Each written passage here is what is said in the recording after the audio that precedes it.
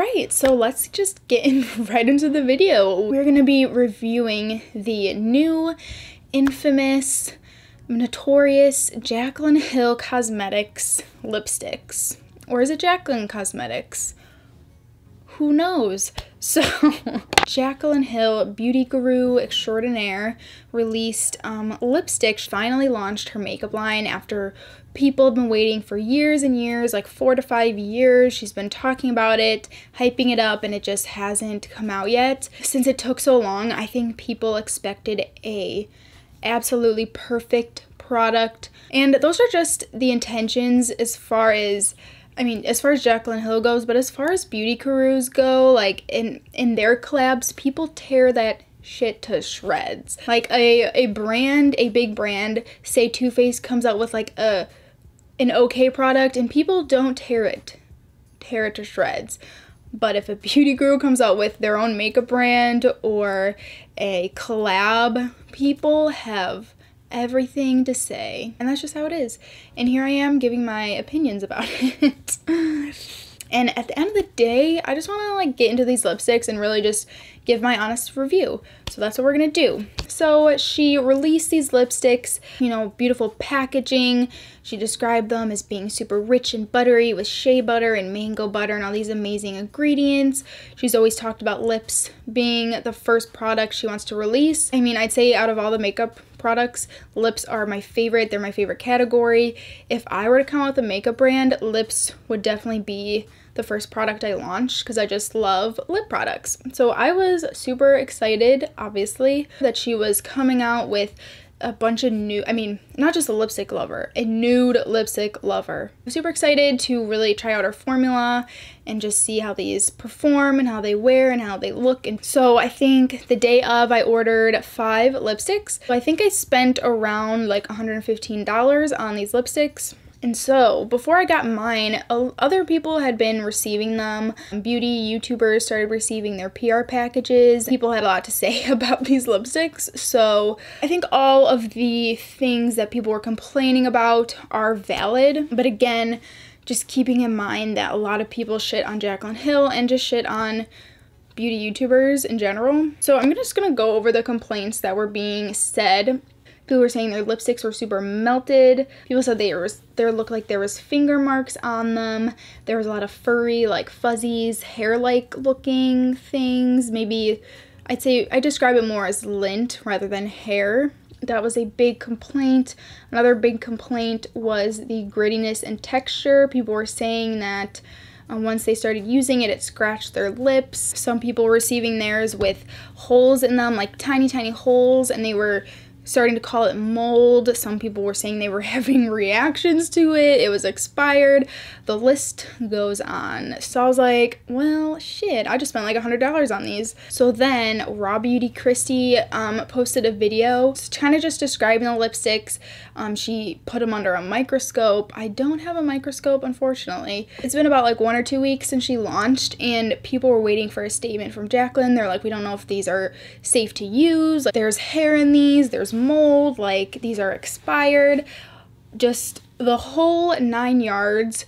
If you could have a complaint about a lipstick, these lipsticks have received every single complaint you could think of. So I was doing a little bit of research and Temptalia is a makeup blogger. She has a blog and I was actually reading her experience and kind of her thoughts on this and I kind of wanted to read them because it seemed like she was kind of counteracting all the complaints and I kind of just want to read what she said about them. And I also link the blog down below if you want more information. As far as lipsticks melting, and this is also my personal opinion, I don't think that's not normal. I mean, it is summer, and I think she lives somewhere hot, and she said, yeah, like her, some of her lipsticks were melted. It happens. It's not like the first brand to ever have um, melted lipsticks. So yeah, I definitely agree with her on that one. Um, I don't think the lipstick melting was a big deal. Um, the furries, Um, she also explained that it was definitely strange, but not a big deal. Along with uh, Jaclyn's video, she kind of came out with a video explaining everything. Finally, after like a couple days, said the lint looking like hair-like pieces on the top of the lipsticks were actually from cotton gloves. So she said the people in her lab were wearing cotton gloves and that's why all this lint got on the lipsticks. Again, not the best thing. They don't look very like appetizing. That's like a weird thing to say about a lipstick, but the product has to look pretty, you know? It has to look normal. And so I think when people were receiving these lipsticks, they were not looking the way they wanted it to. And the next thing is grittiness. So Jaclyn said that the formula wasn't stirred well enough, so that's why in some lipsticks people are experiencing grittiness and bumpiness and like these like almost like little beads. And then the last thing, the holes on top is not mold, they are air bubbles. This happens uh, I don't know. She's she explained the process. It happens when you um, going from like heated liquid lipstick to cooling them. Um, sometimes they can just get air bubbles.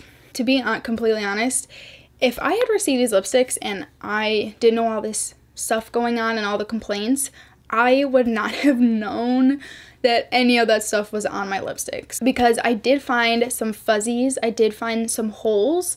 Um, I did find like a little bit of smudginess, like meltingness, a little bit of like melting at the bottom of the bullet. When I get a lipstick, I don't I don't inspect my lipsticks. I don't turn them all the way out of the tube so I never would have known that they would have melted. I might have seen like a fuzzy but honestly I probably would have picked it off and went on about my day.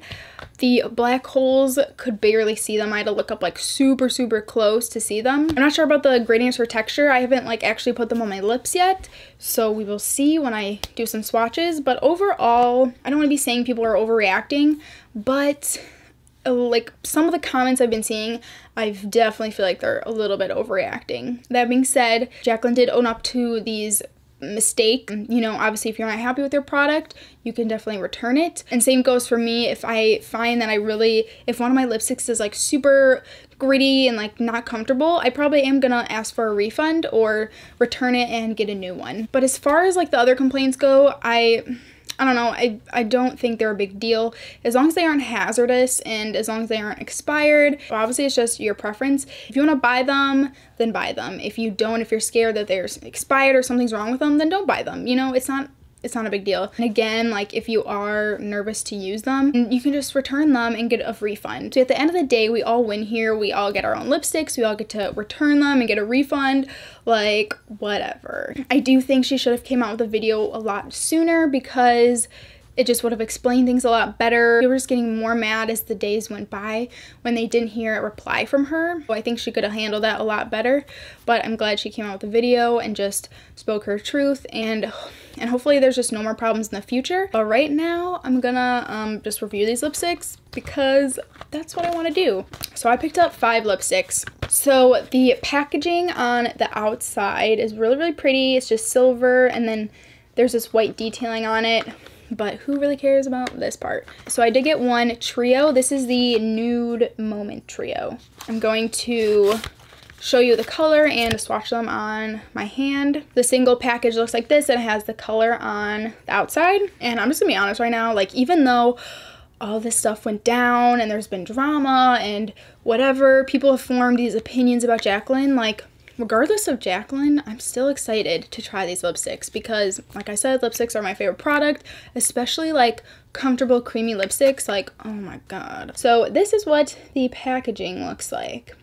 It's silver and has sparkles and it's not gritty, it's very smooth. There's the JH right there and the diamond on top. Personal preference, um, this isn't like my favorite packaging I've ever seen. I don't really like the diamond on top. It's just not my style. If it were my lipstick, I probably would have taken the diamond out, but um, it's not my lipstick, so, so who am I to talk. All right, and it actually feels very heavy. It feels really nice. I mean, honestly, like it's gonna go perfectly in my room. Like it actually matches, it's gonna match perfectly with my lamp. So I'm happy about that. So you take the top off and this is the shade Perfectionist. All right, now grittiness from the swatch. So this is the shade Perfectionist. And also, by the way, when I received my lipsticks, I took a look at them right away because I was like, I can't wait for the video. Like, I want to see if they look jacked up. Photos, um, and like I think I've said this before, but I'll say it again. I only found a little bit of furries and like a little bit of black or the holes. What Jaclyn's saying, oxygen bubbles, I've found those in like two or three of them. But like I said, as far as appearance, if I didn't like inspect them, I would have never known that that stuff was on them. Next in the Nude Moment Trio, we have the shade Sophia. This looks pretty similar to Perfectionist. Like, yeah, there there's like a little fuzz on this. I'm just gonna pull it out. So this is the shade Sophia. Again, no grittiness after swatching that one. And the last in this trio is that girl. And so I think that girl had some melting. If you can see that on the side. But again, I literally would have not have noticed because I don't roll up my bullets all the way. Yeah, this is that girl. And this is what the lipstick looks like afterwards. No grittiness or bumpiness or texture. And that is that girl swatched. So that's the Nude Moment Trio. Very pretty colors. Now I'm going to go into the two that I bought separately. So I picked up the shade As If, which is a, I think this is the nudist shade I got. And this one actually came, this one has a little ding on the side. I don't know if you can see it. Not a big one, but it's there. So this is the shade As If. Oh, that's such a pretty shade. And the last shade I picked up is Fussy and this is the shade Fussy. So here are all the shades that I got. Um, I'm going to try them all on. Like I said, no problems with the swatches. I didn't feel any grittiness um, after swatching them. We will see though, when I put them on my lips, I might feel something different. Also, I didn't even comment on the scent. In her like launch video, she said it had like a really nice vanilla scent. I'm gonna be honest, I don't really get that much of a scent. Like it doesn't, it doesn't smell bad. It does, it just smells like makeup. I think she wanted to go like light on the scent. It's almost too light to where you can't really tell. But honestly, I really don't care if there's a scent. I'm not really gonna be like sniffing them throughout the day, you know? So we're first gonna go into the shade As If which is the nudist one. And another thing she said, if you are having like problems with a melted lipstick, you don't want to like twist it all the way up and use it because then it's more prone to breaking. So if you are using it, just twist it up like just enough. Ooh.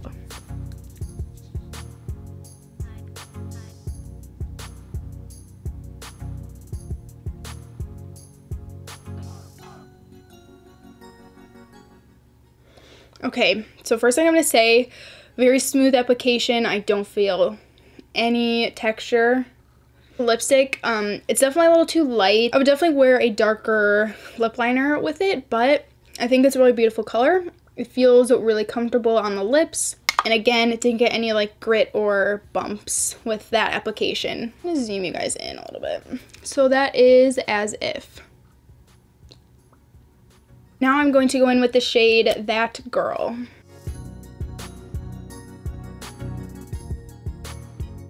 Okay, I'm getting some grittiness. Hmm. Okay. Okay, I just applied a lot just because I wanted to feel the grittiness. So this is what the lipstick looks like. I hope you can see that grittiness. So, okay, so is it like cutting my lips? Absolutely not, no. Does it feel like a little strange? A little bit, but I don't think it's a huge deal. If I didn't know like what that was, it probably would have alarmed me a little bit. Now though that she did make a statement about it, I don't feel concerned about the lipstick. Um, but like I said, if I didn't know, if I had reviewed these before she had made that statement, I probably would have been a little concerned about that. But uh, this is the shade That Girl. That was definitely more pinkier of the shades, so I can see why it stained. Okay, now let's go in with the shade Perfectionist. This looks like it's going to be very close to my natural lip shade. Probably a little bit deeper though. So that is the shade Perfectionist. I think it's really pretty. I would definitely wear this on its own or put a nude shade in the middle. So Perfectionist, I didn't have any grittiness or texture or bumpiness. So that is Perfectionist. Okay, next we're gonna go in with the shade Sophia.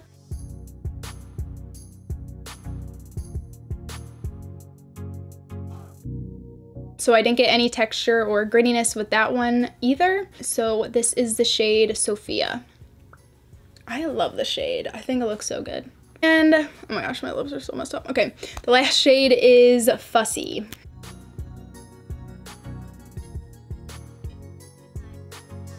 This is the shade Fussy and also a very smooth application with this one. So I'm actually gonna add in um, As If in the middle a little bit of this.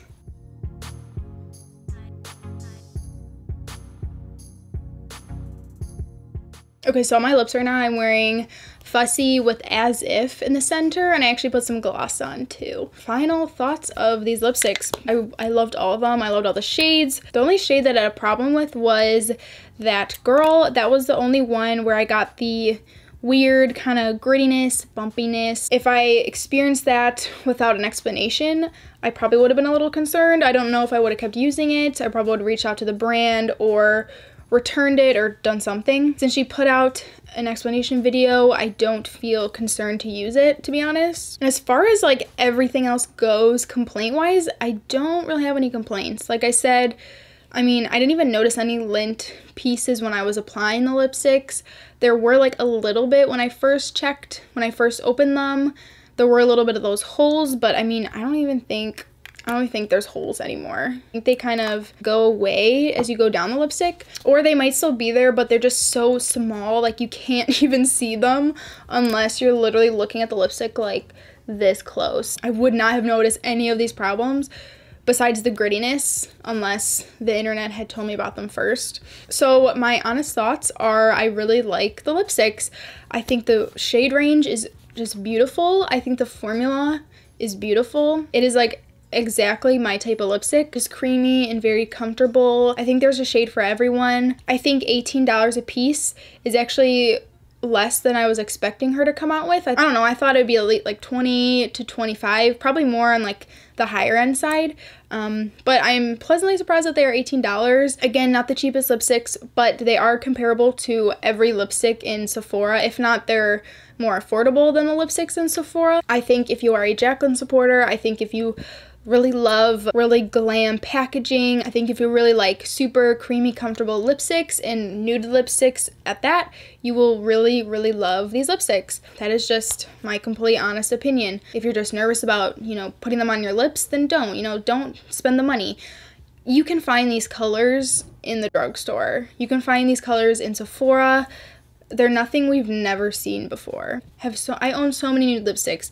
Did I need all of these lipsticks? No, of course not. So I hope you guys appreciate this honest review. The drama is in the past. Let's leave that in the past. Let's move forward. Hopefully in the future there will be no problems with these lipsticks who knows there might still be problems in the future did i not appreciate the bumpiness and texture no, I didn't. But is it the end of the world? No, like absolutely not. And I'll let you guys know if I break out in a rash on my face. But like I said, I'm not worried about it. She came out with a statement. I don't think she would lie about that kind of stuff. If she did, that would be a big, big problem. But yeah, those are my thoughts. I hope you guys enjoyed this video. I had a great time just like reviewing these, swatching these. So that is it for my review. Take with that what you will. Thank you for watching and I'll see you guys in the next one. Bye.